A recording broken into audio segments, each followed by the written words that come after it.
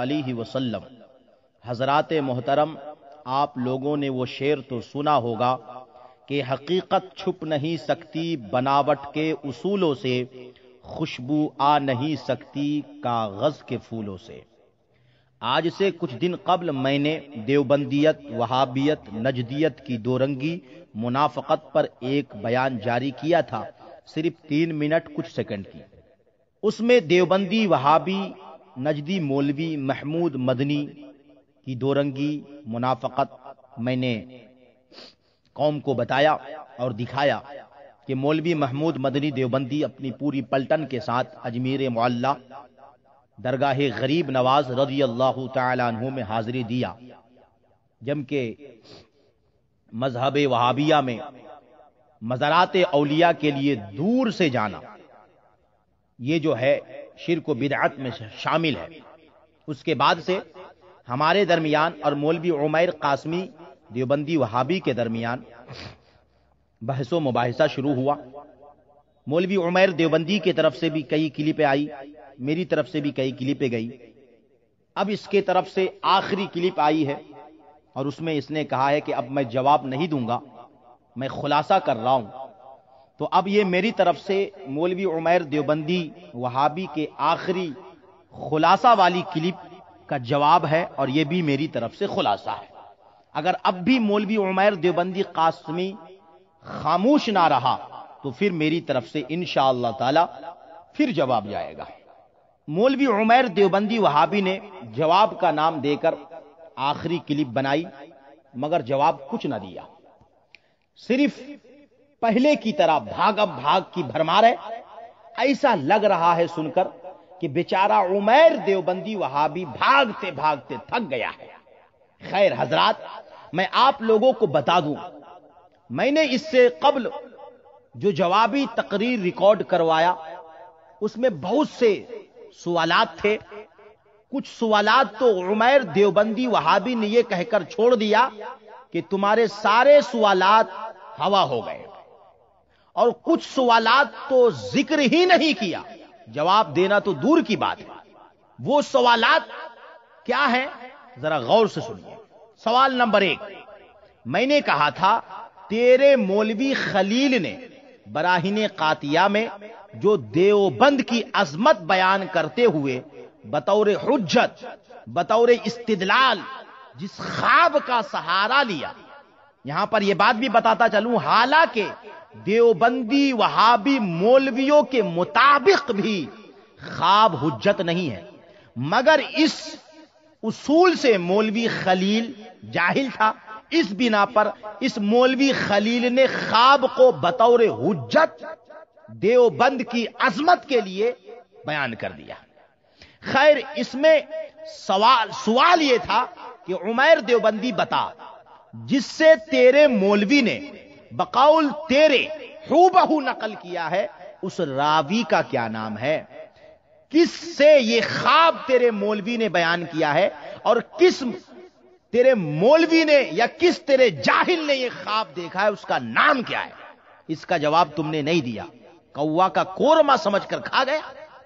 दूसरा सवाल यह किया था कि खाब बयान करने वाला जाहिल था या आलिम? क्योंकि इसमें उर्दू कैसी है, तुमने खुद देखा है तो इसका भी जवाब तुमने नहीं दिया। कौवा बिरयानी समझकर खा गया। तीसरा सवाल था कि तुमने सैफुल नकी को हमारी किताब कहा। मैंने कहा था तो इस किताब को हमारी किताब साबित कर दे। इस सवाल को भी तू पी गया। कौवा का शोरबा समझकर। चौथा सवाल था, खजीनतुल तोहफतुल मुकल्लिदीन, जो तेरे टांडवी ने इन किताबों का ज़िक्र किया है। इबारतें गढ़ी हैं, मतबा गढ़ा है, मुसन्निफिन का नाम गढ़ा है। तुमने कहा कि यह हमारी किताब है, हमारे लिए हुज्जत है। मैंने कहा तू इन किताबों को हमारी किताब साबित कर दे, तू यहाँ से भी भाग गया पांचवा सवाल था।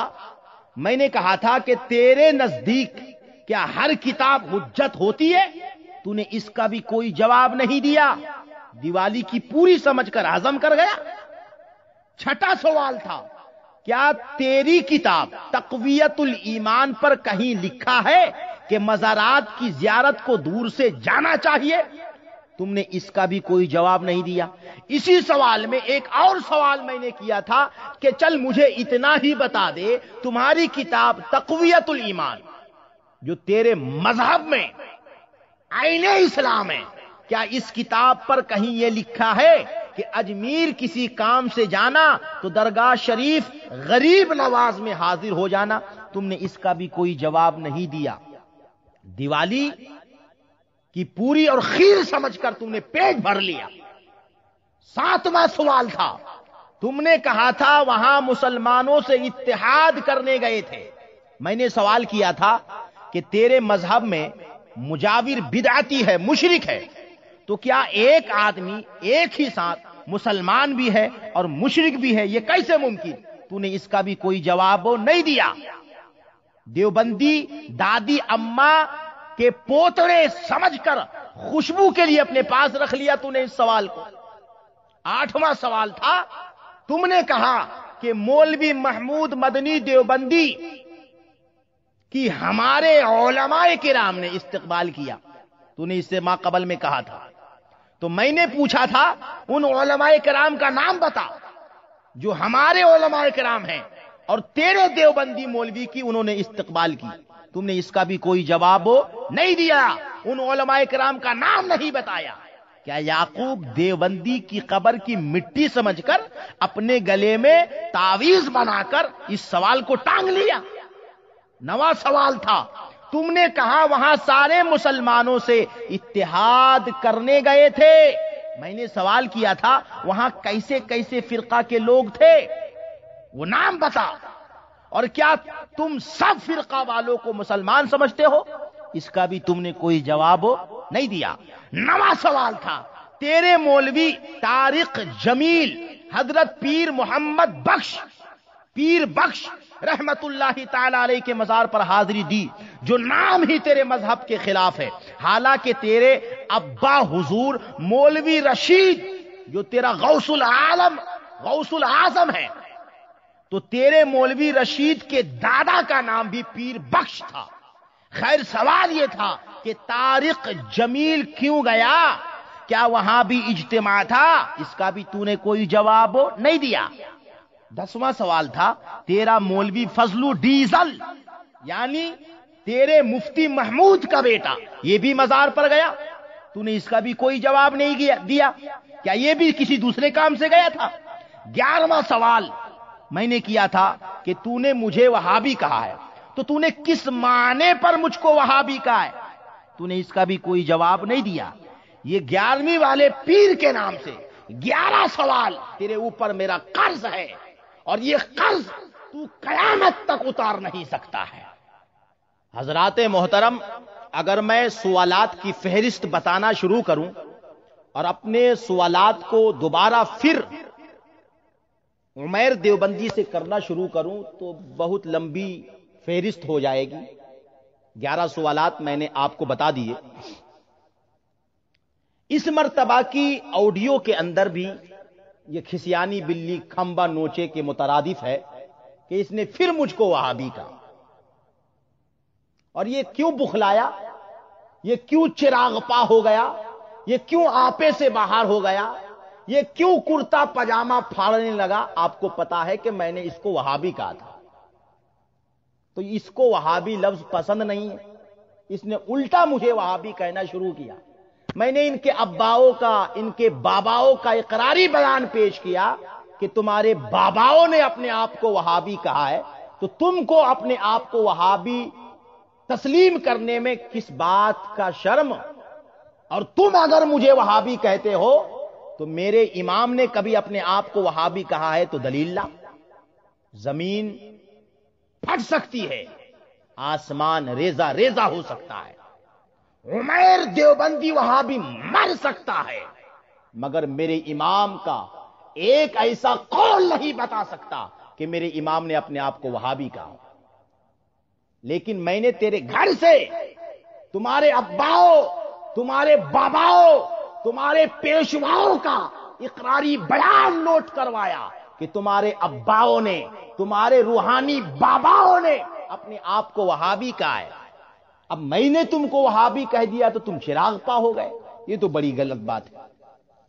इसका साफ़ मतलब यह है कि जो लफ्ज तुम्हारे बाबाओं ने अपने लिए पसंद किया है, वो लफ्ज तुझको पसंद नहीं है।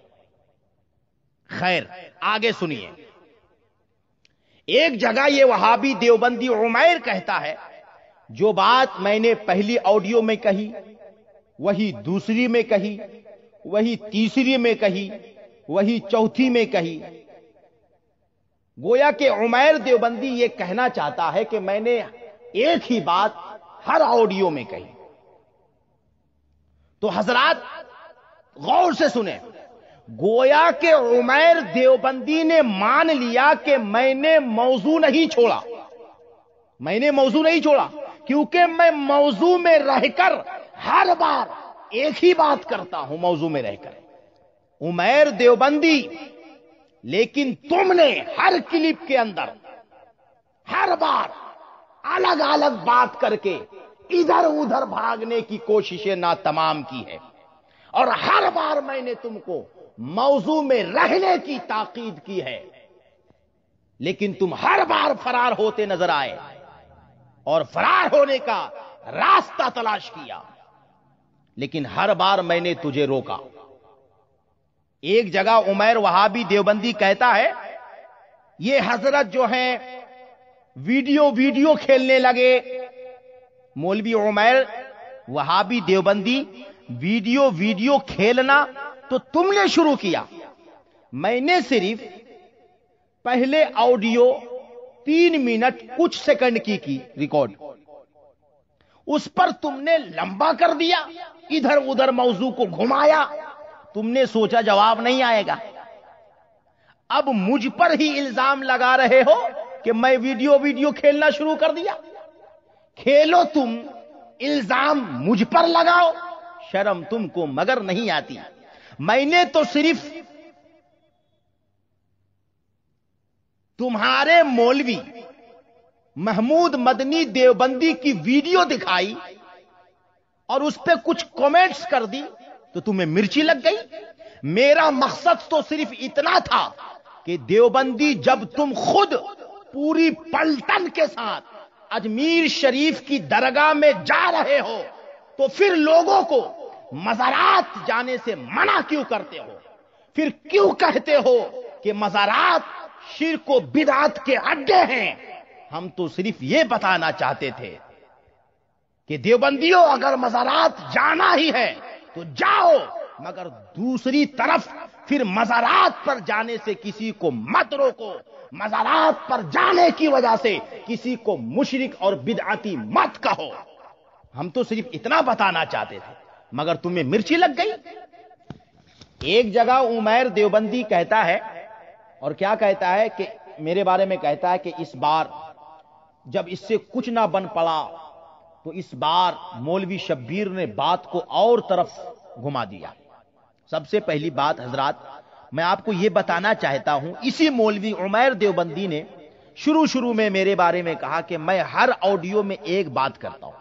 अब कह रहा है, मैं बात को दूसरी तरफ़ ले जा रहा हूँ। बताइए, आप लोग ही बताइए ये उमैर देवबंदी वहाबी की तजाद बयानी, किस्ब बयानी, मक्कारियत, दयूसियत है कि नहीं? मैंने सिर्फ़ अखीर अखीर में इतनी सी बात कही थी कि ये आजकल मजारात पर क्यों हाजिरी दे रहे हैं? वजह क्या है? पर्दे के पीछे क्या है? क्योंकि पूरी दुनिया को मालूम है, जो मजारात से मोहब्बत करता है, वो कभी दहशत गर्द नहीं होता। और जितने भी दहशत गर्द हैं, आपको हालात का इल्म है। दहशत गर्दों ने कितने मजारात को बम से उड़ा दिया। आपको यह भी पता है कि वहाबियों ने साहबा इकराम अहले बैत इजाम के मजारात को बुलडोजरों से उड़ा दिया। मैंने कहा था कि पूरी दुनिया के लोग इनको बेनकाब कर रहे हैं और बता रहे हैं कि वहाबियत का दहशत गर्द से बड़ा ताल्लुक है। इस बिना पर आजकल के वहाबी मजारात का रुख कर रहे हैं ताकि इनके सर से वो धब्बा हट सके। मैंने अखीर अखीर में चंद मिनट ये बात कहती है करीबन एक मिनट कुछ सेकंड होगी और इस बात को इसने लेकर के मेरी पूरी क्लिप को इसी बात पर महमूल कर दिया और कह दिया कि मैं दूसरी तरफ़ ले जा रहा हूँ बात। और खुद ही कहता है, मैं एक बात कह रहा हूँ, ये इनकी तजाद बयानी है। ये मौलवी क्या कहता है, इसको खुद पता नहीं है। अच्छा एक जगह मौलवी उमैर देवबंदी वहाँ कहता है कि मौलवी महमूद मदनी देवबंदी अपनी पलटन के साथ अजमेर की दरगाह गए तो आपको क्यों दर्द हुआ? जवाब सुनो, उमैर देवबंदी वहाबी। जवाब सुनो, हमें दर्द नहीं हुआ, बल्कि हमको तो खुशी हुई कि एक वहाबिया फिरका से ताल्लुक रखने वाला मौलवी जो मारूफ है देवबंदी के नाम से, उसका एक मौलवी अपनी पलटन के साथ अजमीर की दरगाह गया। हमने कौम को सिर्फ़ इस बिना पर बता दिया कि कौम के लोगों, देखो, ये वही लोग हैं जो तुमको बिदाती, मुशरिक बोलते नहीं थकते। ये वही लोग हैं जो मजारात को, शिर को बिदात के अड्डे बोलते नहीं थकते। ये वही लोग हैं जो मजारों के मुजाविरीन को बिदाती और मुशरिक बोलते नहीं थकते। मगर देखो, मजारों से मोहब्बत करने वालों देखो। अपनी किस्मत पर नाश करो, जो तुमको बिदाती मुशरिक बोलते थे और जिन कामों की बिना पर बोलते थे। आज वही काम तुमको मुशरिक और बिदाती बोलने वाला करता नज़र आ रहा है। तो हमने तो अपनी कौम को खुशी की बिना पर यह बात बताई। तुमको मिर्ची क्यों लग गई? और कौम को साथ में यह भी बताया कि यह इनकी मुनाफकत है दो रंगी है, क्योंकि यह अपनी किताबों में कुछ लिखते हैं। और चिल्ला चिल्ली भोपाल दिल्ली, लोटा बिस्तर वाली जमात में लोगों को ले जाते हैं। और मजारात से इतनी नफरत पैदा करवा देते हैं कि इंसान मजार तो जाना दूर की बात है। मजार पर जो जाता है, उसको भी चालीस दिन का मुल्ला मजार पर जाने से रोकता नज़र आता है। ऐसी कई मिसालें हमारे नज़रों के सामने हैं। हमने खुद मुशाहिदा किया है कि जो चालीस दिन चिल्ले पे चला गया, अब वो कभी मजार पे नहीं जाता। बल्कि मजार पर जाने वाले को रोकता नज़र आता है और उसको शिर को बिदात पे मुलविस होने का फतवा देता नज़र आता है। हमें सारी बातों का इल्म है। तो मौलवी उमैर वहाबी, मैं तुमसे पूछता हूँ। मैंने अपनी कौम को, सुन्नी मुसलमानों को यह बात बताई तो तुमको क्यों मिर्ची लगी? तुम मैदान पे क्यों कूद पड़े? हाँ। सिर्फ़ इस बिना पर तुम मैदान पर कूद पड़े कि यार, इसने तो हमारे मौलवी को रंगे हाथों पकड़ लिया। चलिए बचाते हैं। मगर बेचारा उमैर वहाबी देवबंदी ताविलात करता रहा और खुद फंसता चला गया और आखिर में दम तोड़ दिया। इसको पता हो गया कि हम जितने भी ताविलात करेंगे, खुद ही फंसते चले जाएँगे।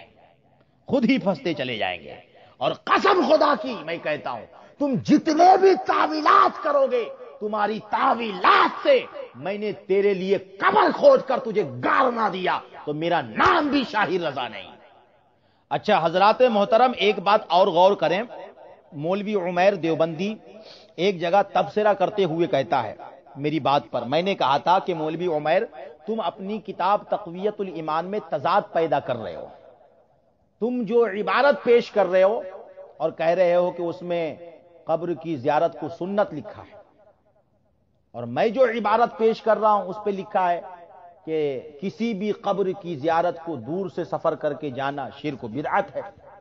तो ये मौलवी खुद कहता है कि हाँ, वाकई में उन दोनों के दरमियान आसमान ज़मीन का फ़र्क है, यानी दोनों में तजाद है। अब बताइए हज़रत, इस मौलवी को वाकई में दवाई की ज़रूरत है कि नहीं? मौलवी उमैर देवबंदी, हमारा मौजू है खास।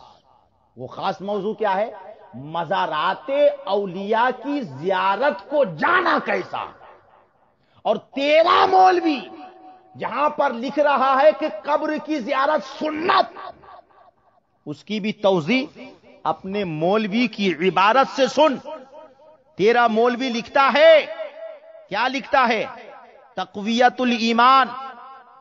किताब तकवियतुल ईमान, सफ़ा नंबर एक पर लिखा है। गौर से सुन, लिखता है और मौत और आखिरत याद आवेगी टूटी पुरानी कब्रों के देखने से।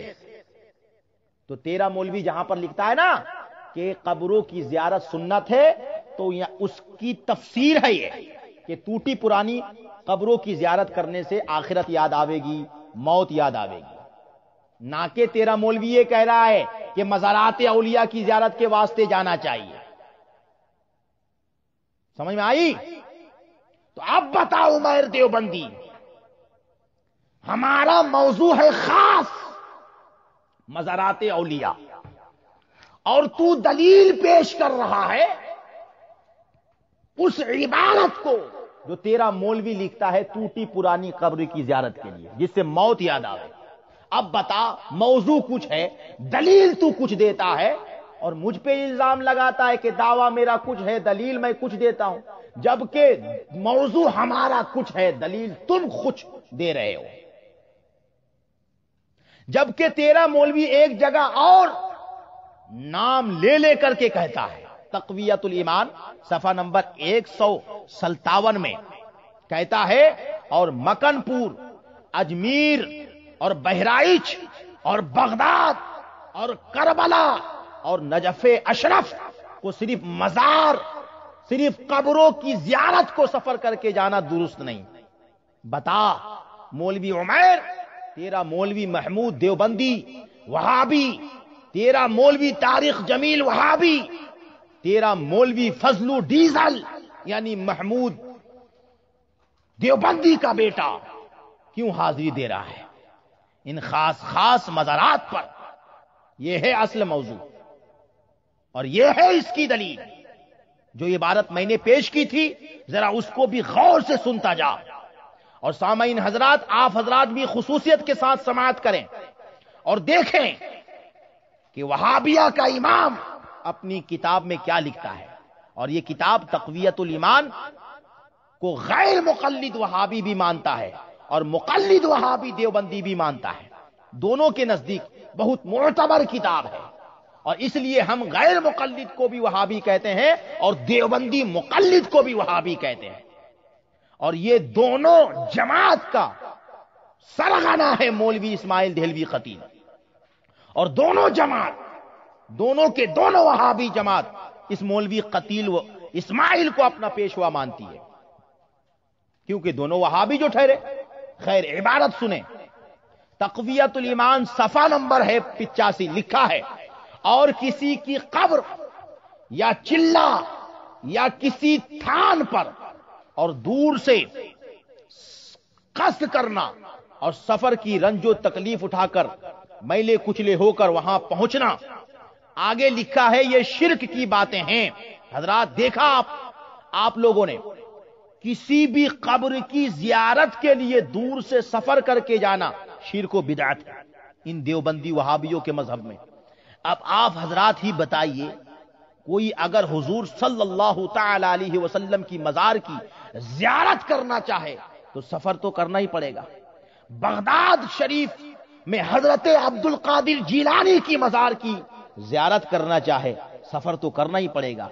कोई अजमेर शरीफ हज़रत गरीब नवाज़ के मजार की जियारत करना चाहे तो सफ़र तो करना ही पड़ेगा। और ये सब इन देवबंदी वहाबियों के मज़हब में शिर को बिदात में मुलविस हो जाएगा। बताइए हज़रत, इन वहाबियों ने किसी को छोड़ा? सबको मुशरिक बना दिया, सबको बिदाती बना दिया, साफ़ लिखा, किसी भी कब्र, कोई कैद नहीं, मुतलक फरमाया, मुतलक कहा अब अगर कोई हुजूर के कब्र अनवर की जियारत को जाए सफ़र करके, तब भी इस किताब तकवीतुल ईमान, जो असल में तफवियतुल ईमान है, इसकी रूह से शिर को बिदात के कामों में मुलविस होता नज़र आएगा, और वो शिर, मुशरिक और बिदाती कहलाएगा। तभी तो हमने कहा था कि तेरा मौलवी किस मुँह से अजमीर की दरगाह मोहल्ला पे हाजिर हो रहा है। इस पर उमैर देवबंदी वहाँ भी ताविलात करते करते कितना झूठ बोलोगे तुम? इसका पर्दा तो मैं बाद में चाक करूँगा। हजरात, मैं आप हजरात को यहाँ यह बात भी बताता चलूँ कि हुजूर के जमाने से लेकर आज तक मुसलमानों का तरीका रहा है मज़ारात की जियारत के लिए जाना। मगर इन वहाबियों को मज़ारात से इतनी नफरत कि मज़ारात की जियारत के लिए सफ़र करने को शिरक लिख रहा है। बिदात लिख रहा है, जबकि कयामत तक पूरी दुनिया के वहाँ भी मिलकर, मज़ारात की जियारत के लिए सफ़र करके जाने को शिरक साबित नहीं कर सकता। इसी किताब, तकवियतुल ईमान, ने इंसानों के दरमियान तफरका पैदा कर दिया, उम्मत को इंतशार का शिकार बना दिया, उम्मत को आपस में लड़वाया। जो शिरक नहीं था, उसको शिरक लिखा, जो बिदात नहीं था, उसको बिदात लिखा। खुद देवबंदी वहाबियों के घर से सुनिए इस किताब तकवियतुल ईमान के बारे में। किताब का नाम है अरवाह सलासा। हिकायत नंबर उनसाठ है, फिफ्टी नाइन। देवबंदी वहाबी कि इस किताब में साफ़ लिखा है कि जब मौलवी इस्माइल दहलवी कतील ने तकवीत तकवीतुल ईमान को अपने कुछ खास लोगों के सामने पेश किया और खुद इस्माइल दहलवी कतील ने कहा अपने लोगों से, क्या कहा कि मैंने ये किताब लिखी?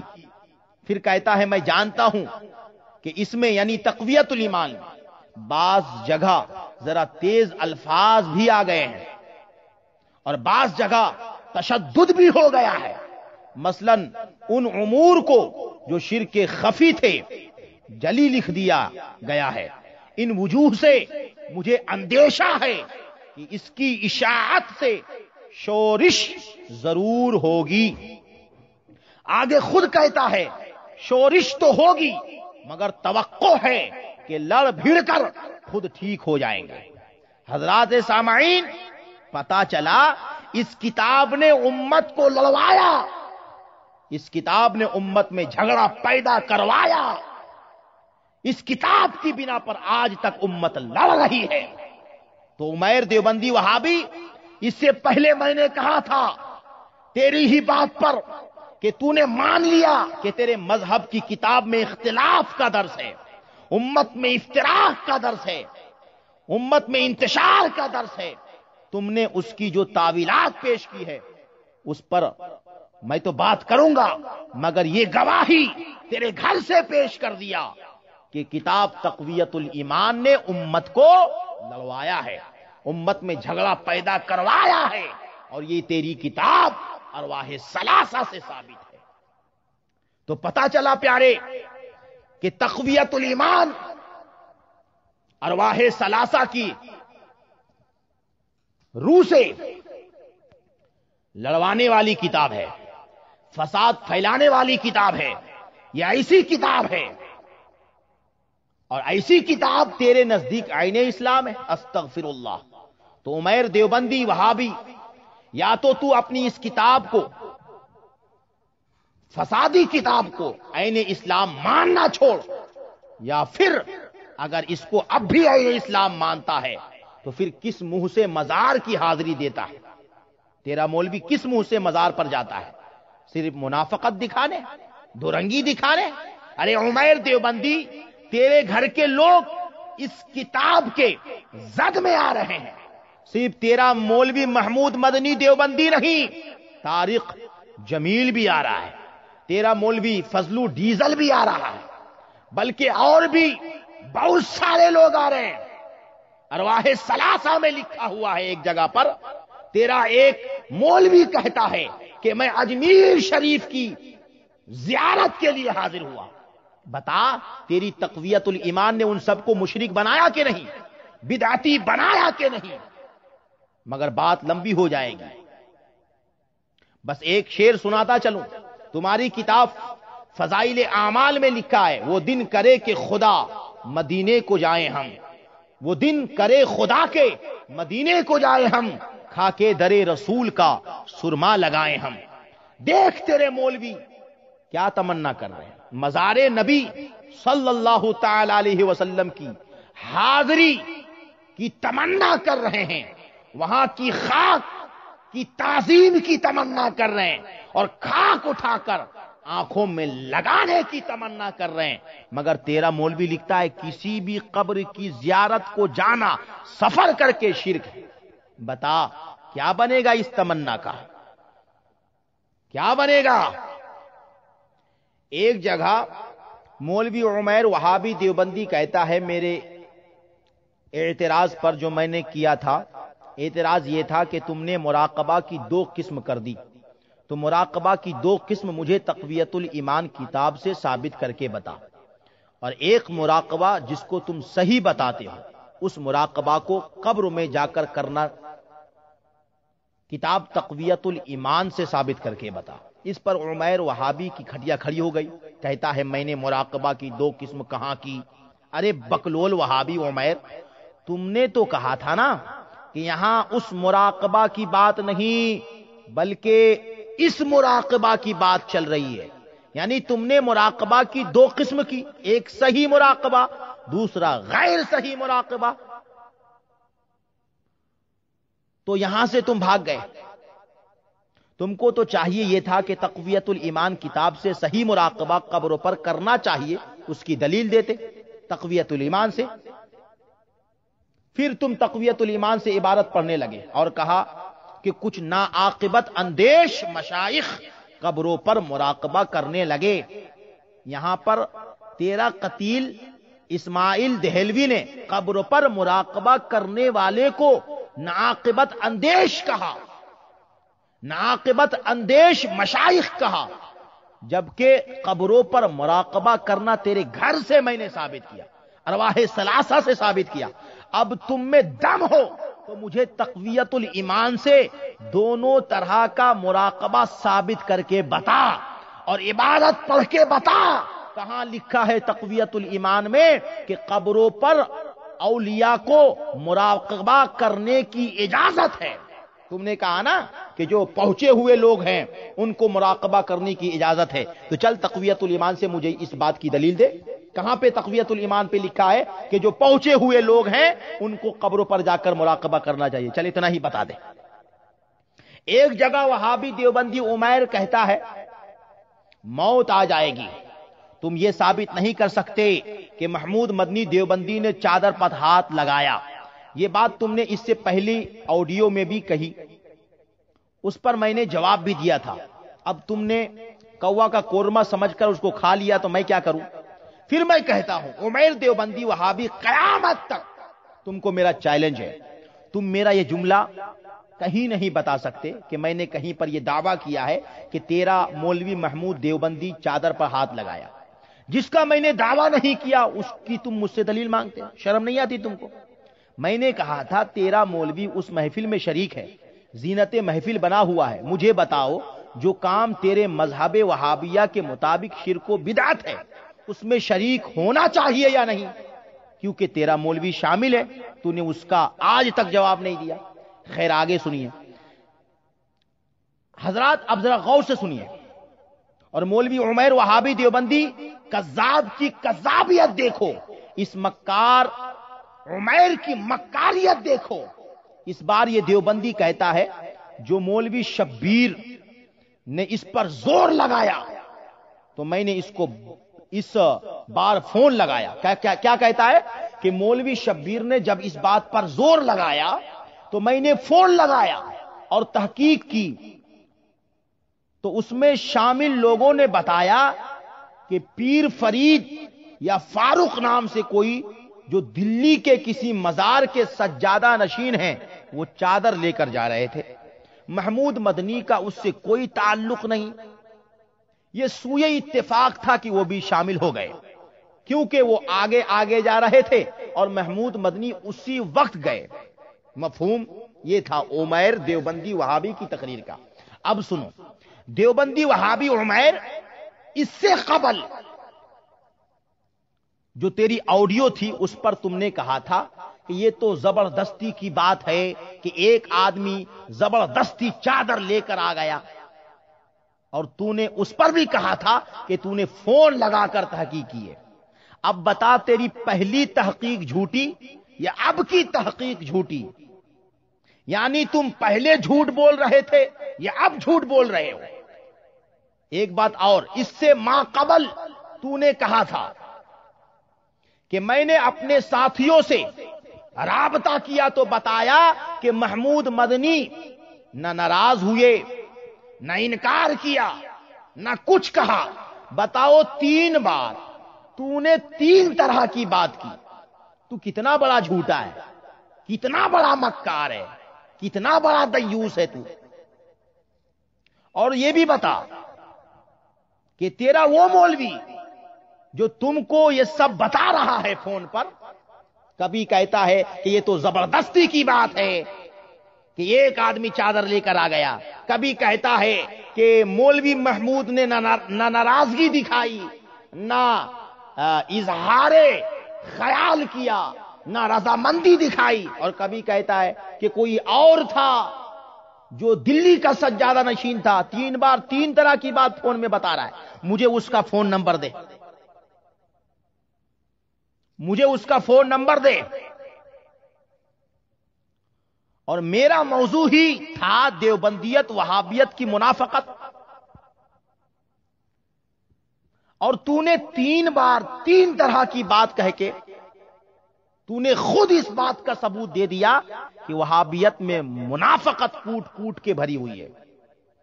तू भी मुनाफिक नंबर वन निकला। और मुनाफिक की अलामत यह है कि वो जब भी बात करे तो झूठ बोले। तूने पहली ताविल कुछ पेश की, दूसरी ताविल कुछ पेश की, अब तीसरी ताविल कुछ पेश कर रहा है। कितना बड़ा झूठा निकला। अब दूसरी बात, कि मुझे पीर फरीद या फारूक, जो तुमने नाम बताया है, उसका भी एड्रेस बता, उसका भी फ़ोन नंबर बता। ठीक है? और रही बात वीडियो की तो वीडियो में साफ़ दिखाई दे रहा है। लोग अंदाज़ा लगा सकते हैं, मामला क्या है। जो लोग चादर लेकर जा रहे थे, वही लोग तेरे मौलवी को भी लेकर जा रहे थे। जरा गौर से फिर से देखना। वीडियो कितना झूठ बोलेगा तू? उमेर देवबंदी, वीडियो देखकर साफ़ अंदाज़ा लगाया जा सकता है। गैरत भी कोई चीज़ है, या गैरत नाम की कोई चीज़ नहीं है तेरे अंदर। वीडियो देखकर तू खुद अंदाज़ा लगा सकता है कि जो लोग चादर लेकर के जा रहे हैं, जो लोग चादर के सपोर्ट में हैं, वही लोग तेरे मौलवी को वेलकम करके ले जा रहे हैं और तेरा मौलवी बड़े अदब के साथ जा रहा है। तो मौलवी उमैर देवबंदी वहाबी, ये तेरे घबराहट की दलील है। मेरे सवाल से तो बुखला गए हो और घबराहट में कुछ भी बोलते जा रहे हो। कभी कहते हो कि मैंने तहकीक की तो लोगों ने बताया कि मौलवी महमूद मदनी देवबंदी ने ना क्या कहते हैं कि नाराज़गी दिखाई और ना ही उसमें शामिल होने की रजामंदी बताई। अब दूसरी बार कहते हो कि ज़बरदस्ती की बात है कि एक आदमी चादर लेकर आ गया। अब तीसरी बार कहते हो कि नहीं नहीं, बल्कि कोई तीसरा पीर था जिसका नाम फारूक था। या फरीद था, जो दिल्ली के किसी मजार का सज्जादा नशीन था तो ये तेरे घबराहट की दलील है। और ये सारी घबराहट वाली बात तुम मेरे सवालात से घबरा करके कर रहे हो। खैर, आगे बढ़ो। एक जगह तुमने सवालात अपने गिनवाए और कहा तुमने महमूद मदनी को देवबंद का मोहतमिम कहा। और इस पर तुमने दो सवाल बनाया। ज़ाहिर सी बात है, सवालात के तादाद तुमको बढ़ाने थे। खैर, मौलवी उमर, मैंने इससे कबल भी कहा था कि आज से कुछ महीना कबल नेट पर मैंने एक पोस्ट पढ़ी, जिस पे लिखा था, एक नदवी मौलवी का खत दारुल देवंद के मुहतमीम के नाम, उसमें अरशद मदनी का नाम लिखा था। डेट पे सर्च करके तुम खुद भी देख सकते हो। अरशद मदनी नाम लिख दो या महमूद मदनी नाम लिख दो, वो पोस्ट ज़रूर आ जाएगा तेरे सामने। तो उस पोस्ट की बिना पे मुझे तसाम हो गया। अब तुम इसको लेकर के तुम्हें कुछ नहीं मिला, तेरे हाथ कुछ नहीं लगा, तेरे पल्ले कुछ नहीं लगा तो इसी को लेकर के झुनझुना बजाने लगे। मैं ये थोड़े इस बात पे ज़ोर दे रहा हूँ कि हाँ, वो दारुल देवन का मोहतमीम है। अगर मैं इस बात पे ज़ोर देता तो कोई बात और होती। तुमने कह दिया, हमने मान लिया कि नहीं है। बात खत्म। अच्छा उसके बाद तुमने कहा कि मुहदस आज़म मुहदस आज़म पाकिस्तान।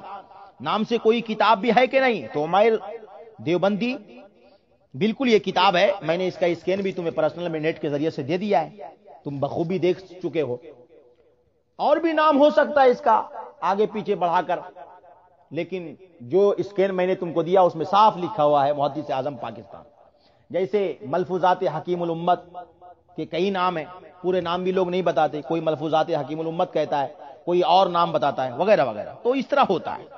अच्छा एक जगह फतहुल मुबीन के हवाले से कहता है ए, मैंने इस पर सवाल किया।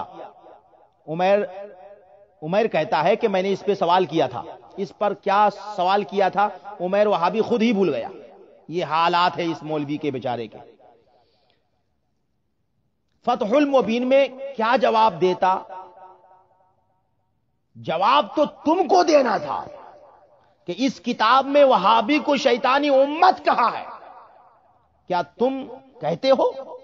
क्या तुम इनकार करते हो? वहाँ भी कोई शैतानी उम्मत नहीं कहा गया इस किताब के अंदर में। अगर तुम इनकार करते हो तो बोलो। हाँ, एक बात है कि तुमने इमाम अहमद रजा खान फाजिल बरेलवी के हवाले से कहा था कि इमाम अहमद रजा ने हम देवबंदियों को वहाबी नहीं कहा, वहाबी नहीं समझते। तो तुम हमको वहाबी क्यों कहते हो? फिर मैं जब इस पर जरबे रजा लगाया और इमाम अहमद रजा की किताब। फतावा रजविया से तुमको वहाँ भी साबित किया। और बताया कि देख, मेरे इमाम ने तुम देवबंदियों को वहाँ भी लिखा है और तुम्हारा पूरा शजरा बताया है। तो तुम यहाँ से भाग गए। जैसे गधे के सर से सींग गायब हो जाता, वैसा तुम गायब हो गए। तुमने झूठ कहा था कि इमाम अहमद रजा ने हम देवबंदियों को वहाँ भी नहीं लिखा। मैंने साबित किया कि तुमको वहाँ भी लिखा है। तुम झूठे निकले, तुम मक्कार निकले, तुम धोखाबाज निकले। और देवबंदी धोखा ना दे, ये हो ही नहीं सकता। फिर एक सवाल करता है, और वो सवाल पुराना सवाल करता है। इसको पता ही नहीं है कि मैंने क्या सवाल किया है, दूसरा क्या सवाल करना है। फिर वही सवाल को रिपीट करते करते हुए कहता है कि महमूद मदनी ने चादर पे हाथ लगाया कि नहीं? ये बेचारा इतना घबरा गया है कि एक ही सवाल को बार बार करता है। अच्छा आगे चलिए। आगे कहता है, मेरे ताल्लुक से कि तुमने कहा कि चादर ले जाई जा रही है, महमूद मदनी उसमें शामिल है। फिर सवाल करता है, क्या उसमें महमूद मदनी की रजामंदी थी? तो मौलवी उमैर देवबंदी वहाँ भी ये तो तुमको बताना है कि उसकी रजामंदी थी या नाराज़गी थी, ये तुमको बताना है। अच्छा मैं एक बात यहाँ पे पूछना ये चाहता हूँ कि किसी बात से इनकार ना करना ये किस बात की दलील है? जरा ये बता। दूसरी बात, क्या तेरा महमूद मदनी उस महफिल में किसी के ज़ोर ज़बरदस्ती से शामिल हुआ था या खुद ही शामिल हो गया था? ये बात भी बता। जबकि वीडियो देखने वालों ने देखा, तुमने भी देखा होगा कि तेरा मौलवी बड़ा खुश लग रहा है और तेरा मुल्ला महमूद मदनी बड़े अदब के साथ मज़ार पर हाजिरी दे रहा है, जबकि तेरी किताब तकवीतुल ईमान, जो तेरे मज़हब के मुताबिक आन इस्लाम है, उसमें साफ़ लिखा है कि मज़ारात का अदब करके उसमें हाजिरी देना यह भी शिर को बिदात में शामिल है। तो इस तरीके से भी तेरा मौलवी बिदआती और मुशरक साबित होता है। लेकिन तुम अपने मौलवियों पे फतवा नहीं लगाओगे, सिर्फ़ दूसरे पे फतवा लगाओगे, ये हमें पहले से पता है। अच्छा फिर सवाल करता है एक जगह उमैर वहाबी। कि तुमने कहा था, करीब करीब सबने हाथ लगाया। तो उमैर देवबंदी, वहाँ भी तुम पागल हो गए हो या अंधे हो गए हो? वीडियो तुमने देखी नहीं? एक बार देख लो और खुद अंदाज़ा लगाओ। ठीक है? फिर एक जगह सवाल करता है। सवाल नहीं करता, बल्कि खलत मबहस करता है। अहकाम शरीयत और अहमद यार खानईमी के हवाले से कहता है। जबकि ये खलत मबहस है। मैंने इससे पहले भी कहा था कि मेरा मुँह खुलवाओगे तो मैं तुम्हारे घर की किताबों का पटारा लगा दूँगा और तुम्हें मुँह छुपाने की भी जगह नहीं मिलेगी। लेकिन ये खलत मबहस करने का आदि इंसान है। खैर, इस पर भी मैंने इसको झूठा साबित किया था। इसने नूरुल इरफान का हवाला नहीं दिया था। और इससे पहले जो इसकी ऑडियो आई थी, उसमें कहा था कि मैंने नूरुल इरफान का हवाला दिया। मैंने कहा कि तुझे क़यामत तक का टाइम देता हूँ। तो इतना बड़ा झूठा है कि नूरुल इरफान का नाम भी नहीं लेता और कहता कि मैंने नूरुल इरफान का हवाला दिया। तो यहाँ पे भी झूठा साबित हो गया था। अच्छा एक जगह मौलवी उमैर वहाबी ने मेरे एतराज़ पर जवाब देने की नाकाम कोशिश की और ख़ुद ही अपनी नैया डुबो लिया। हजरात, आपको याद होगा, मैंने अपने माँ कबल की ऑडियो में कहा था कि तेरे मज़हब वहाबिया के मुताबिक ये सारी बातें शिर को बिदात है। फिर तेरा मौलवी महमूद मदनी उसमें शामिल है शिरक बिदअत के काम में। शरीक बज़म है जीनत बज़म बना हुआ है। तेरे मौलवी के सामने ये सारी बातें हो रही हैं जो तेरे मज़हब के मुताबिक शिरक बिदअत है। तो तेरे मौलवी ने इनकार क्यों नहीं किया?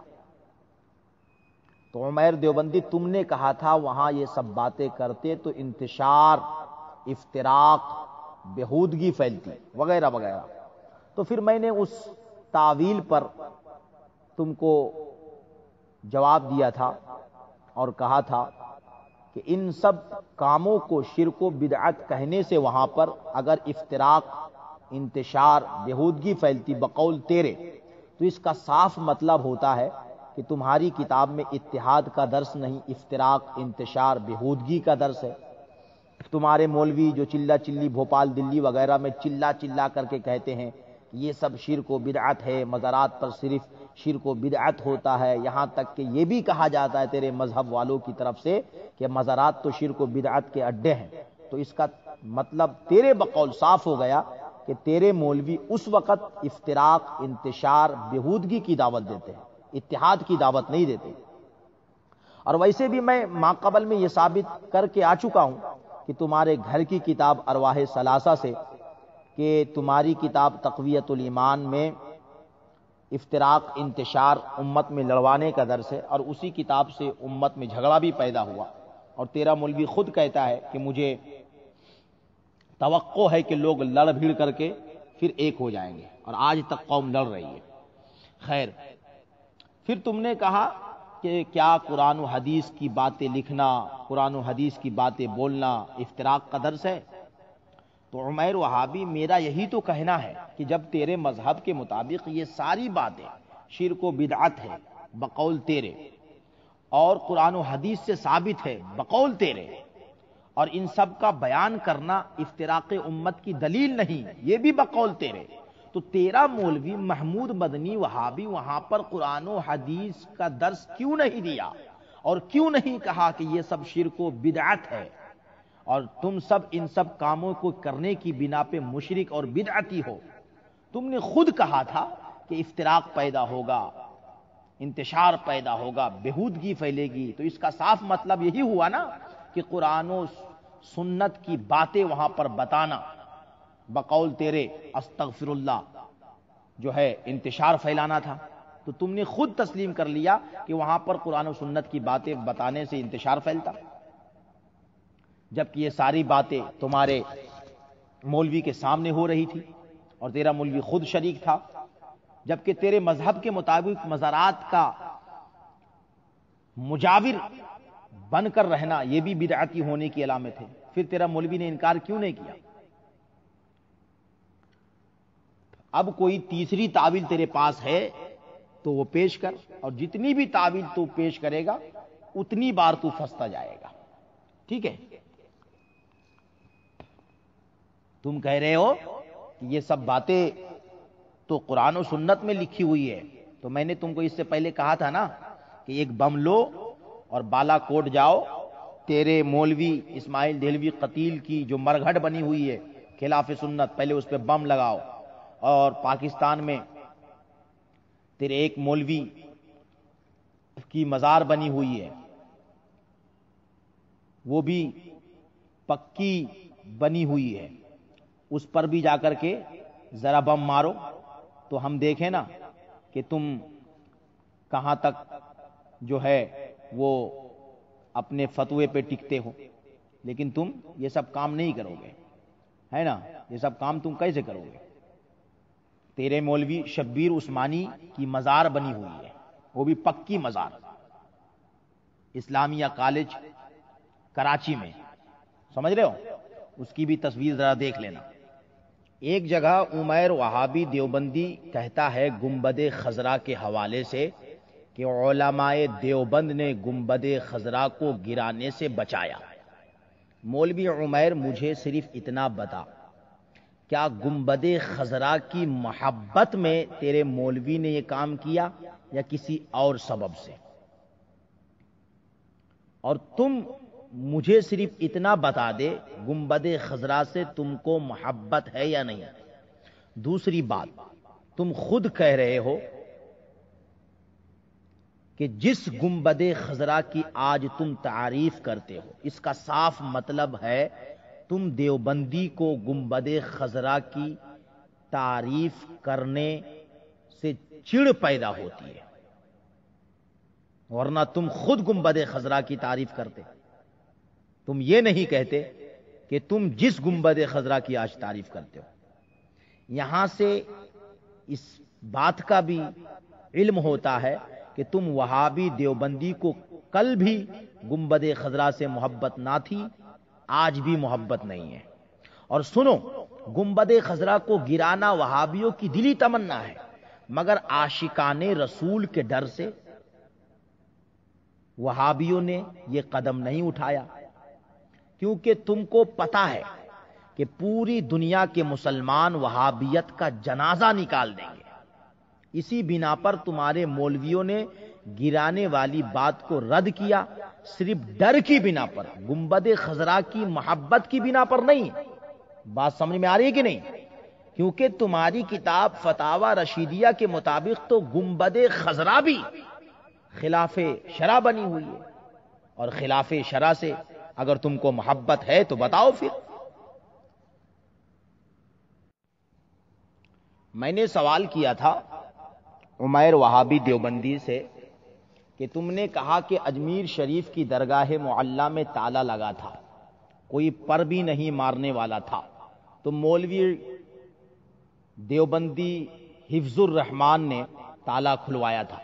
मैंने कहा था इस पर कि मामला ये कब हुआ, कैसे हुआ, क्यों हुआ, सारी बातें दलील से दो और बताओ। तो ये मौलवी की दज्जालियत देखो, कहता है, हवाला लो। और कहता है जमीयत से एक पर्चा छपा था। अरे उमैर देवबंदी वहाँ भी पागल हो गया क्या? कब छपा? उसमें इबारत क्या लिखी है? ये सब कौन बताएगा? तेरा फरिश्ता मुकर्रब, कासिम नानोतवी आकर के बताएगा? या तेरा देव आकर के बताएगा? उसके बाद एक और हवाला देता है कि जमीयत ओलमाए हिंद और उसकी कारगुजारी। अरे उमैर देवबंदी, उसमें लिखा क्या है, वाकया क्या है, ये कौन बताएगा? वाकया बताओगे तब ना उसकी तहकीक होगी। खैर, मैंने इस पर उमैर वहाबी देवबंदी को कहा था कि बिल फ़र्ज़ अगर मान भी लिया जाए कि तेरे मौलवी ने ताला खुलवाया तो क्या ये मजारात से तुम्हारी जमात की मोहब्बत की दलील है? और तुमने ताला खुलवाने वाली बात को मजारात की, मोहब्बत की दलील बनाकर पेश किया था। तो मैंने कहा था, अगर तेरा उसूल मान लिया जाए तो मुझे बता, तेरे मौलवियों ने तो ताजिया की भी मदद की है। तो क्या तेरे उसूल से मैं ये कह सकता हूँ कि तेरे मौलवियों को ताजिया से भी मोहब्बत थी? इस पर तुमने कहा कि जब जवाब देना तो पूरा वाकया बयान कर देना। तो मौलवी उमैर देवबंदी, सबसे पहली बात तो यह है कि अजमीर की दरगाह में ताला लगा, उसका पूरा वाकया तुमको बयान करना चाहिए था। तुमने क्यों नहीं बयान किया? लेकिन सुनो, मैं बयान करता हूँ, क्योंकि सुन्नी हर बात डंके की चोट पर कहता है। हवाला नोट करो, किताब का नाम मलफूजात हकीम उम्मत, हिस्सा सोयम, सफ़ा नंबर 290 पर लिखा है। मफहूम पेश कर रहा हूँ कि देवबंदी याकूब, जो तुम्हारा अल्लामा था, एक जमाने में अजमीर शरीफ पर तेरा मौलवी तशरीफ़ रखता था। इत्तेफाक से अशरय मुहर्रम में एक मकाम पर ताजिया दारों में और हिंदुओं में झगड़ा हो गया। कोई दरख्त था उसको लेकर। लोगों ने देवबंदी याकूब से पूछा ये जो झगड़ा हुआ है, हमको क्या करना चाहिए? तो मौलवी याकूब ने कहा, इस्लाम और कुफर की लड़ाई है, जाओ और मुकाबला करो। क्योंकि काफिर बिदअत समझकर थोड़ी लड़ाई कर रहे हैं, वो तो इस्लाम समझकर लड़ रहे हैं। ये था मफहूम इस इबादत का। अब उमैर देवबंदी, तुम ही बताओ कि तुम्हारे उसूल से, ये ताजिया से मोहब्बत की दलील है क्या? अगर हाँ तो कोई बात नहीं। और अगर तुम कहते हो कि बिदात भी तो कहा तो ये ताजिया से मोहब्बत की दलील नहीं। तो मैं इसी बिना पर तो कह रहा हूँ कि बिल फ़र्ज़ तेरे मौलवी ने अजमीर शरीफ की दरगाह का ताला खुलवाया। तो ये मोहब्बत दरगाह की दलील नहीं है। दरगाह की मोहब्बत की बिना पर ताला नहीं खुलवाया। किसी और सबब से खुलवाया। नजद की पैदावार नजदियों ने मज़ारात सहाबा, मज़ारात अहले बैत इज़ाम को गिरवाया, बुलडोजर चलवाया, बेहरमती की। कभी तुम देवबंदी वहाबियों ने उसके खिलाफ बोला? नहीं बोला। ये तुम्हारे मज़ारात से नफरत की रोशन दलील है। और क्या चाहिए तुम्हें? अच्छा हजरात मोहतरम, एक बात और नोट करें। कि मैंने मौलवी उमैर देवबंदी वहाबी दरभंगी से सवाल किया था कि एक तरफ़ तू मज़ारात अलिया से मोहब्बत की दलील दे रहा है, जबकि तेरा मौलवी रशीद अहमद गंगोही साफ़ लिखता है फतावा रशीदिया के अंदर के तमाम मज़ारात खिलाफ शरा बने हुए हैं, उसका कुरान सुन्नत की रोशनी में रद्द करना चाहिए। तो मैंने पूछा था कि क्या खिलाफ सुन्नत, खिलाफ शरा जो चीज़ है, उन चीज़ों से तुमको मोहब्बत है? इसका इससे कोई जवाब नहीं बना तो बेचारा भाग गया। और इमाम अहल सुन्नत के मुतालिक कहने लगा कि उन्होंने अलमलफूज शरीफ के अंदर में जो है, वो कबर के ताल्लुक से ये बात लिखी है कि एक बालिश से ज़्यादा ऊँची नहीं होनी चाहिए। मौलवी उमैर देवबंदी, अगर तेरे अंदर दम है ना तो मैंने तेरे इमाम का जैसा कौल पेश किया है कि तमाम मजारात खिलाफ शरा बने हुए हैं। ऐसी इबारत मेरे इमाम की पेश कर तो कोई बात बने। समझ में आ रही बात? कहाँ का रोड़ा, कहाँ पे फोड़ा? अच्छा एक जगह मौलवी उमैर देवबंदी तुमने अपनी गलती का एतराफ किया। अहले सुन्नत वल जमात, जो तुमने कहा था। इस गलती का तुमने एतराफ किया, अल्लाह का करम है। आज तुझे शाहिर रजा की इसलाह करने की बिना पर जमात का नाम बोलना आया। वरना तेरी हालत तो वो थी कि तुझे अहले सुन्नत व जमात भी बोलना नहीं आता था और मुँह उठा करके आ गए थे बास करने के लिए। चलो तुमने अपनी गलती का एतराफ कर लिया। अल्लाह का करम है। लेकिन तुमने खलते मबहस करते हुए। यह कहा कि तुम जिस किताब से मवाद चोरी कर रहे हो और हमें बता रहे हो, कहरे खुदाबंदी, उसमें अहले सुन्नत वल जमात लिखा हुआ है। मुझे लगता है मौलवी उमैर देवबंदी वहाबी दरभंगी, तुम बिल्कुल सटिया गए हो। तुम अपनी बात को भूल जाते हो। तुमने एक मरतबा मुझसे कहा था कि बात हमारी हो रही है, बात तुम्हारी हो रही है, तुम दूसरे की बात क्यों करते हो? तो अभी तुम्हें क्या हो गया? तुम दूसरे की बात क्यों करने लगे? और दूसरी बात यह है कि कहरे खुदाबंदी अभी नई नई छपी है। कई गलतियाँ उस पर निकलेगी। और मुसन्फ ने साफ़ लिखा है कि इसमें कोई गलती रह गई हो तो इत्तला फरमाए, ताकि आइंदा उसकी इसलाह कर दी जाए। तो हो सकता है कि लिखने में गलती हो गई हो। और अगर तुझे किताबों में, लिखने में गलती दिखाने का शौक चर्राया है तो सुनो, सबसे पहले तो उसूल सुनो। तुम्हारी किताब बराही ने कातिया के अंदर लिखा है। कि किताबत की गलती या मतबा की गलती। किसी मुसन्निफ की तरफ़ मंसूब करना सही बात नहीं है। लेकिन सुनो, तुम्हारी किताब अल मुहन्नद के अंदर और तुम्हारी किताब फतावा महमूदिया के अंदर, अहल सुन्नत वल जमात लिखा हुआ है। तो यह तुम्हारा इल्जामी जवाब था, हालाँकि इसके जवाब की ज़रूरत नहीं थी। अच्छा एक बात और है। मैंने इससे कहा था कि तुम हमें रजा खानी रजा खानी अपने किस अब्बा की तकलीद पर कहते हो? इस मौलवी उमैर देवबंदी ने अब तक अपने उस अब्बा का नाम नहीं बताया। और ये बताएगा भी नहीं। तो इस बार कहता है, हम तो रजा खान की तरफ़ निस्बत करते हुए तुम्हें रजा खानी कहते हैं। तो मैं यही तो पूछ रहा हूँ कि तुम्हारे किस अब्बा ने हमको रजा खान की तरफ़ निस्बत करते हुए, रजा खानी तुमसे पहले कहा है, उस अब्बा का नाम बता, तुम क्यों नहीं बताते? हम सुन्नी मुसलमान, तुम देवबंदियों को और गैर मुकल्लिद वहाबियों को और तुम देवबंदी वहाबियों को, दोनों वहाबियों को मोहम्मद बिन अब्दुल वहाब नजदी की तरफ़ निस्बत करते हुए, वहाबी कहते हैं तो तुमको चिराग, तुम्हारा चिराग क्यों जलने लग जाता है और तुम क्यों चिराग पा हो जाते हो? क्यों कुर्ता पजामा फाड़ने लगते हो? क्या तुम मोहम्मद बिन अब्दुल वहाब नजदी को अपना पेशवा नहीं मानता? अगर नहीं मानता है तो बता, फिर मैं तुझे आईना दिखाता हूँ। तुमने एक जगह कहा था हमारे ओलमा के हवाले से कि तुम्हारे ओलमाओं ने भी माना है। तुम्हारे ओलमाओं ने भी माना है कि देवबंदियों के अकाबरीन ने अकीदा नजदीयत की। सख्त जो है, सरकूबी की है और उससे इख्तिलाफ किया है।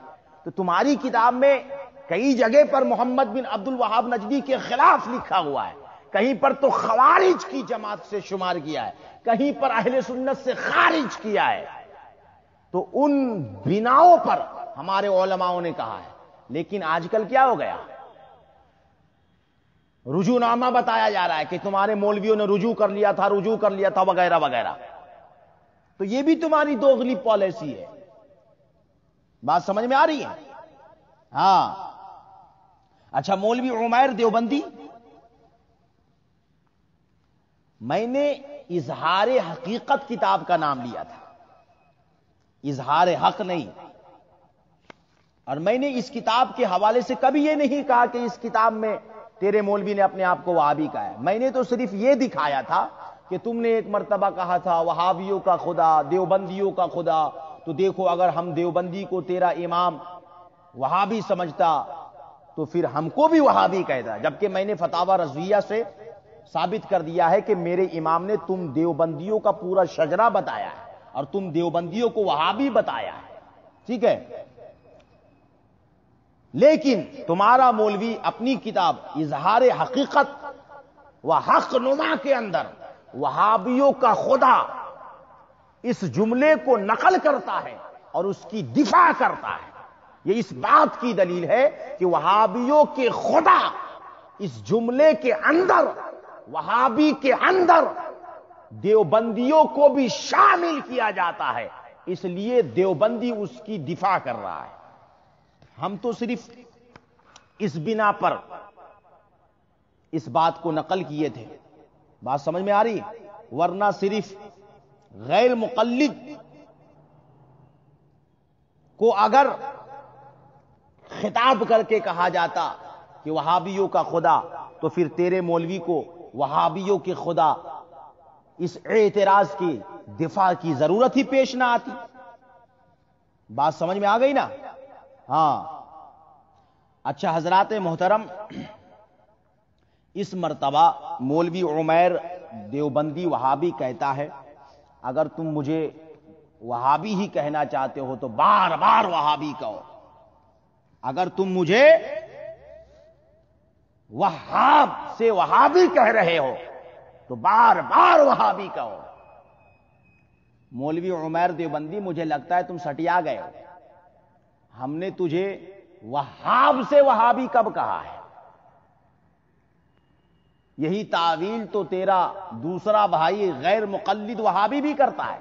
और वो भी कहता है कि हम वहाब से वहाबी हैं। क्या तुम ये तावील मानते हो अपने दूसरे भाई की? जब तुम नहीं मानते तो हम तुम्हारी कैसे माने? इससे पहले तुमने कहा था कि अगर तुम हमको आशिक रसूल समझकर वहाँ भी कहते हो तो खूब कहो। कौन तुझे आशिक रसूल समझता है हा? हम सुन्नी मुसलमान, तुम देवबंदी मुकल्लिद वहाबियों को भी और गैर मुकल्लिद वहाबियों को भी तुम्हारे पेशवा मोहम्मद बिन अब्दुल वहाब नजदी की तरफ़ निस्बत करते हुए वहाबी कहते हैं और डिक्शनरी की किताब फिरोजुल के अंदर में तेरा मौलवी ने वहाबी का जो माना बताया है, यही माना बताया है। मोहम्मद बिन अब्दुल वहाब नजदी के पैरोकार, मानने वाले। बात समझ में आ गई? और वहाबी किसको कहते हैं? वहाबी का माना क्या है? इसमें तो तुम्हारे घर में बहुत ज़्यादा तजाद बयानी है। जबकि तेरा मौलवी रशीद गंगोही, जो वहाबी देवबंदी मज़हब का गौसुल आज़म है जिसका यह दावा है कि हक वही है जो रशीद की जबान से निकली, निकलती है। तो बात खत्म हो गई। वहाबियों की जो तारीफ़ रशीद की जबान से निकली, उसको मानो बात खत्म, क्योंकि हक तो वही है ना, जो रशीद की जबान से निकले। तो रशीद की जबान से वहाबी की तारीफ़ यह निकली कि मोहम्मद बिन अब्दुल वहाब नजदी के मुख्तदियों को वहाबी कहते हैं। और साथ में रशीद की जबान से यह बात भी निकली कि मोहम्मद बिन अब्दुल वहाब नजदी बड़ा उम्दा अकीदा वाला था। और तुम सब देवबंदी आजकल अपने पेशवा मोहम्मद बिन अब्दुल वहाब नजदी की बड़ा, बड़ी दिफा कर रहे हो। तेरा मौलवी मंजूर नोमानी देवबंदी वहाबी ने तो पूरी किताब लिखी है मोहम्मद बिन अब्दुल वहाब नजदी की दिफा में शेख मोहम्मद बिन अब्दुल वहाब नजदी के नाम से। अगर कहोगे तो स्कैन भी दे दूँगा तुझे। और खूब तारीफ़ की है, खूब दिफा किया है। और आजकल इलियास घुम्मन की पूरी टीम मोहम्मद बिन अब्दुल वहाब नजदी की दिफा में काम कर रही है। और एक फतवा मैंने देखा है, दारुल इफ्ता, दारुल देवबंद का, उसमें साफ़ लिखा है, सवाल हुआ था शेख मोहम्मद बिन अब्दुल वहाब नजदी के ताल्लुक से तो तेरा मौलवी जवाब देते हुए कहता है कि शेख मोहम्मद बिन अब्दुल वहाब अहले सुन्नत वल जमात के अकीदा से ताल्लुक रखते थे। यहाँ पर भी अहले सुन्नत व जमात नहीं लिखा है। खैर, आगे लिखता है, शेख मोहम्मद बिन अब्दुल वहाब नजदी के हालात को जानने के लिए मंजूर नोमानी की किताब शेख मोहम्मद बिन अब्दुल वहाब नजदी के खिलाफ प्रोपेगंडा नामी किताब का मुताला फरमाएँ। और भी बहुत कुछ है हमारे पास बताने के लिए। समझ रहे इससे कबल भी मैंने बहुत कुछ बताया है। एक बात और सुनो, और खासकर तमाम मुसलमान हजरात से मैं कहना चाहूँगा, इस बात को गौर से सुने। मलफूजात हकीमुल उम्मत, सफ़ा नंबर पिछहत्तर है, हिस्सा दोयम है, साफ़ लिखा है। और वहाबियों का हकीमुल उम्मत, जिसको मरीजुल उम्मत का लकब मिला है।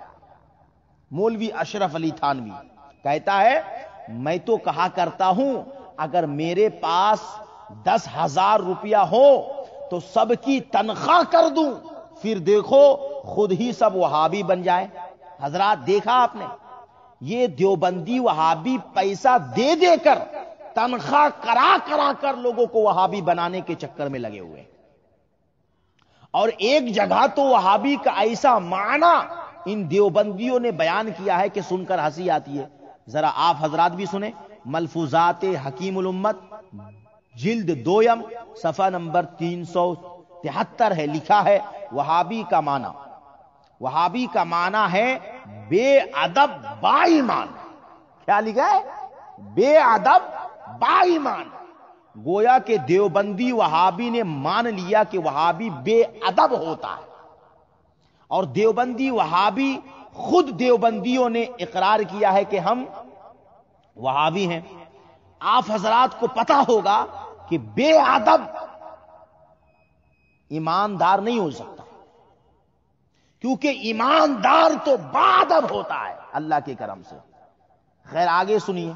एक जगह मौलवी उमैर वहाबी इमाम अहले सुन्नत कात नजदियत इमाम अहमद रजा खान के हवाले से एक फतवा नकल किया। फतवा फतावा रजविया से। एक सवाल आया और आला हज़रत ने जवाब दिया, जो लफ्ज उमैर देवबंदी ने नकल किया वो ये कि आला हज़रत ने फरमाया, नाजायज बात को अगर कोई बदमजहब या काफिर मना करे तो उसे जायज़ नहीं कहा जा सकता।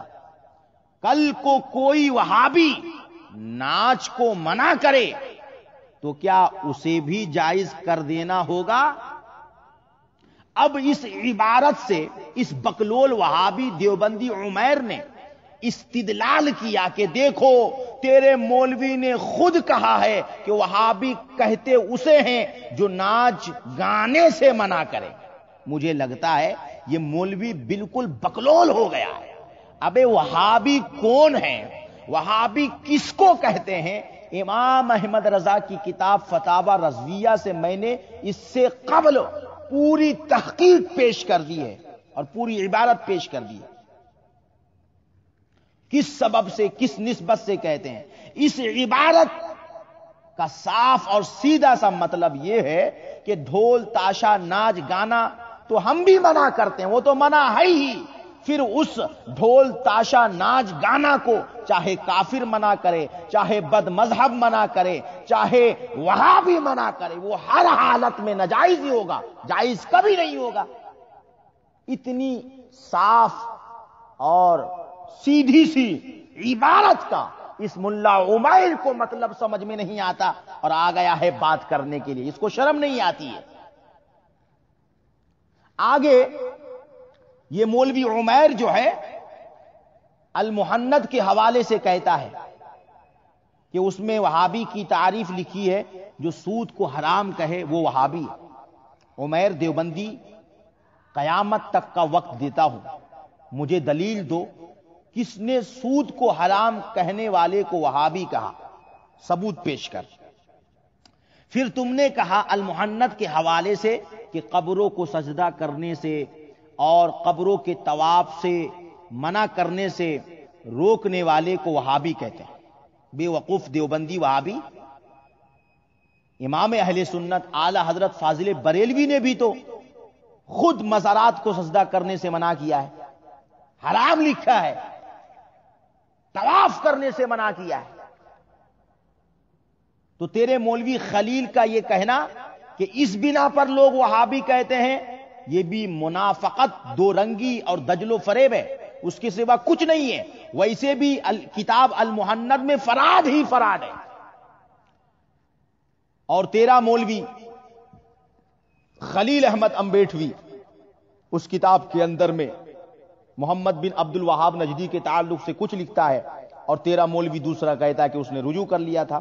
तो वैसे भी साबित हो जाता कि इस किताब में फराड है। अगर फराड नहीं था तो फिर रुजू करने का क्या मतलब? बार कैसे?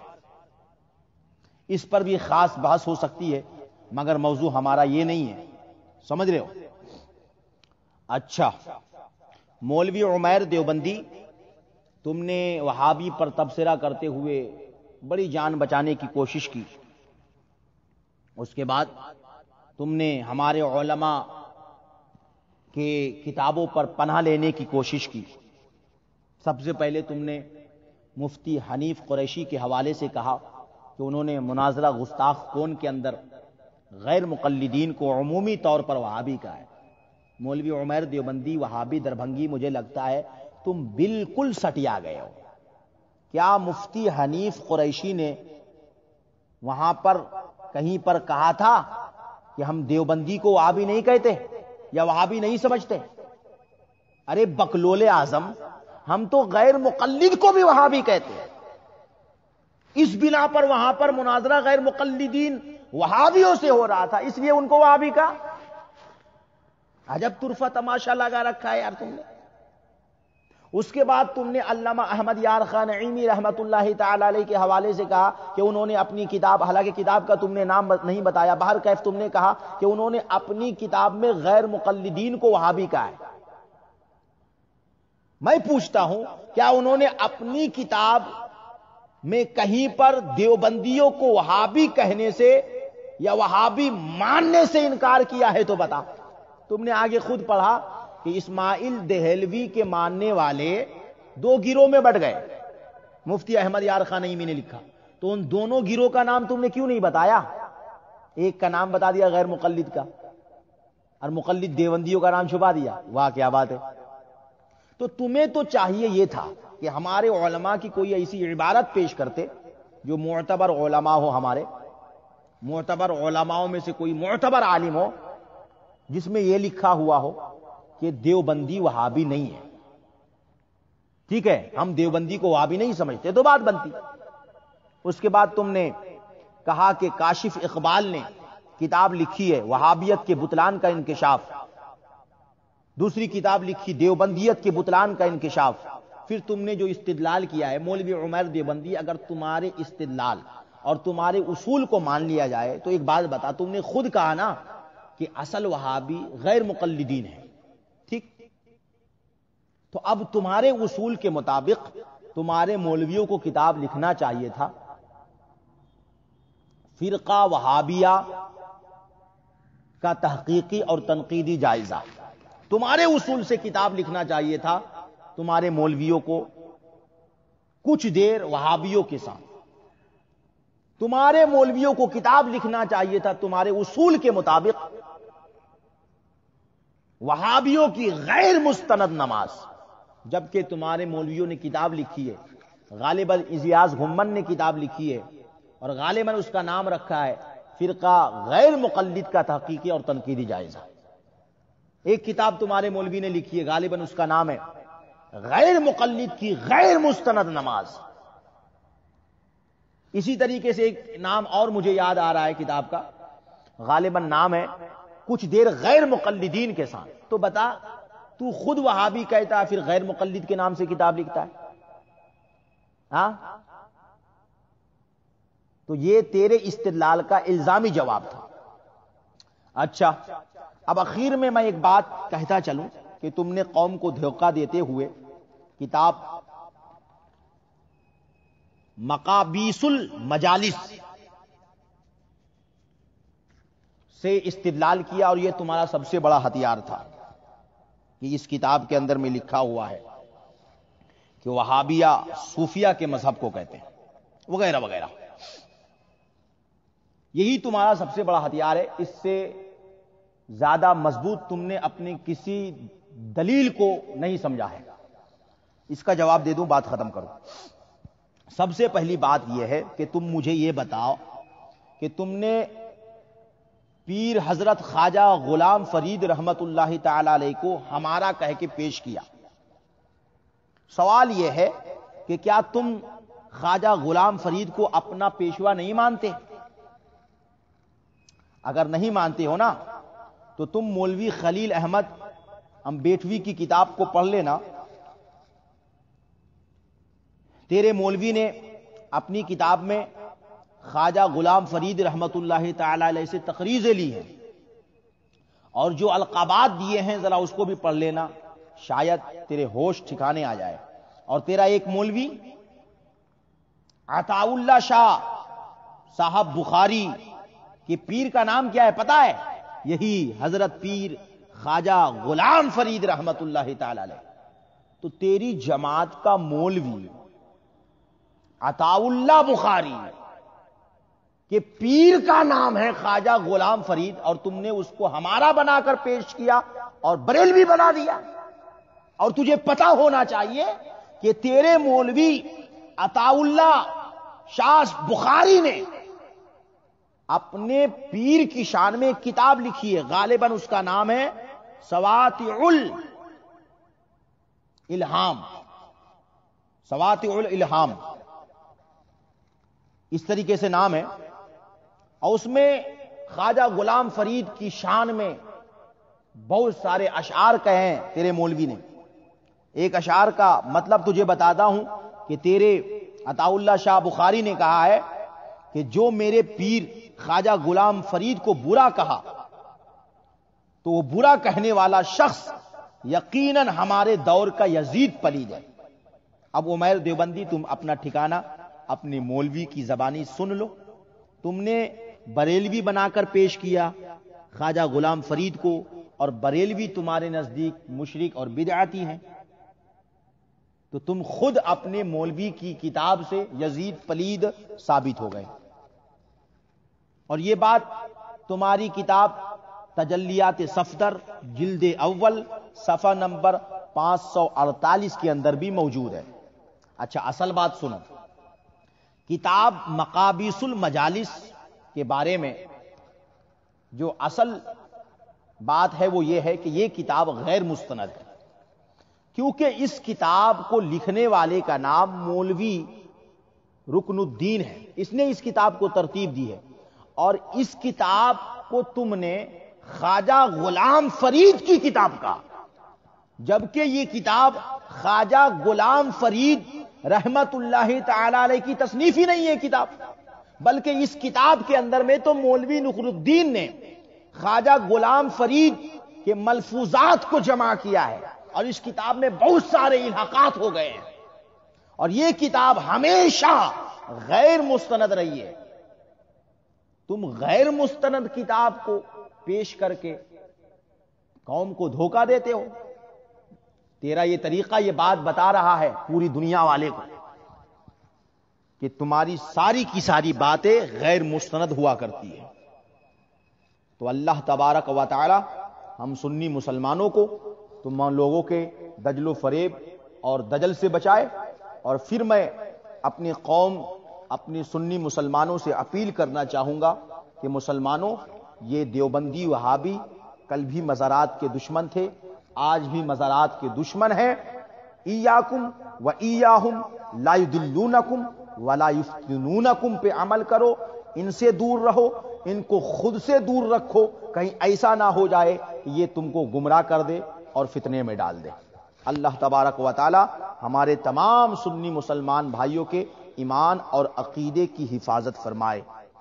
असलकम वरहमल वर्का